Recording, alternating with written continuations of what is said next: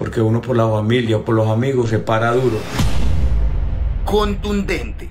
Así respondió John Alex Castaño ante las acusaciones del empresario Hans Otto.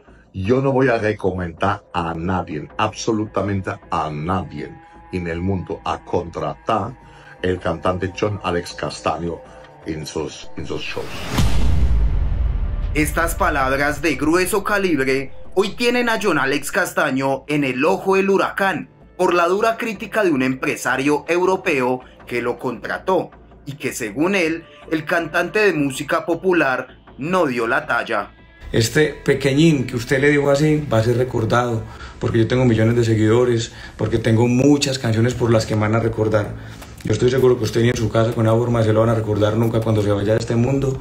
Descubre al final del video qué acción legal tomará el oriundo de Risaralda. Por el otro lado, pues van a haber un poco de acciones legales porque pues por parte del señor empresario con el cual yo no tengo ni un contrato, eh, tuvimos una amenaza hacia mi manager Camilo Hidárraga, donde el hombre expresó en su voz alta, gritando con testigos que tenemos, que España no salía. Hans Dieter Otto, el empresario en Barcelona, España, denunció públicamente al artista de música popular debido a la presentación que ofreció en una de sus discotecas. Yo en mi discoteca compra dos shows juntos, John Alex Castaño y Chavito Negro. Y las circunstancias de sus presentaciones fueron fatal. Primero viene con cinco músicos. Nosotros vamos pidiendo a él a tocar un duet con Chavito, a cantar junto en memoria de Dario Gómez, Nadie es eterno en el mundo. Adicionalmente, aseguró que el cantante tiene talento, sin embargo, no tiene carácter ni ética. Le diga una cosa, John Alex, y escúchame cuando ves este mensaje.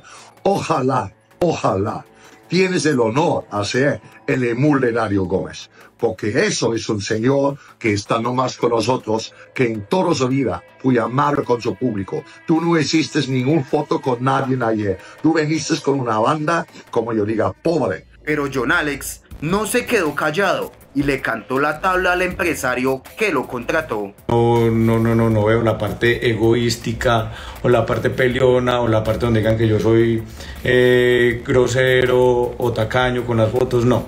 Cuando no se dan fotos después de un evento es porque la logística no da, no hay buen manejo o simplemente la gente está muy borrachita. Pero acá no termina todo.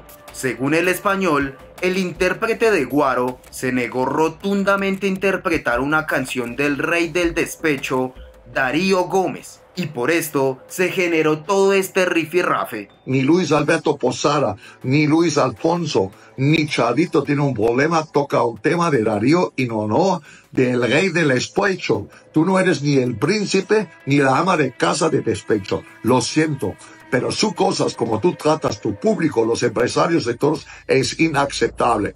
Y dinos, ¿quién crees que tiene la razón?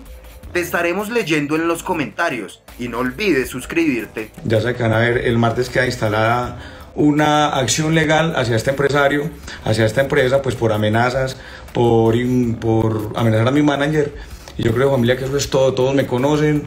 No soy un ángel, no soy una perita en dulce, no soy una moneda de oro. Soy Jonares Castaño del Chupe. Me he metido rascas, la he cagado, me han pillado. Pero aquí sigo seguirme cantando, como dice Jason. ¿De dónde es que sale